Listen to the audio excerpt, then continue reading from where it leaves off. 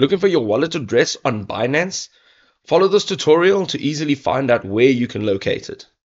So from your home page on your Binance app, on your mobile device, you'll see at the bottom there is a wallets icon.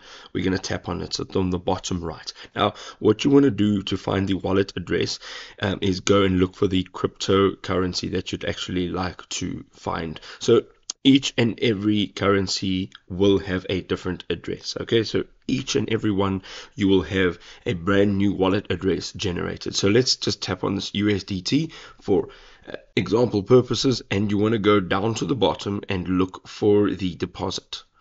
Let's click on that. And here you will have to choose your network. Now, it's very important that you are choosing the correct network because if you're choosing the incorrect network or you're choosing a network that's not supported by the currency, you will most likely lose all of your assets. So in this case, USDT, the best option here is the BNB Smart Chain.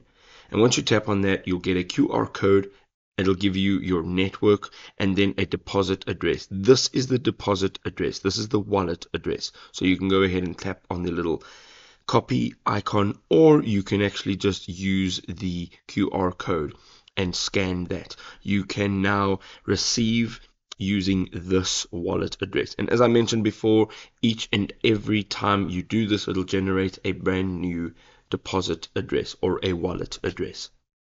If this was helpful, share it with a friend.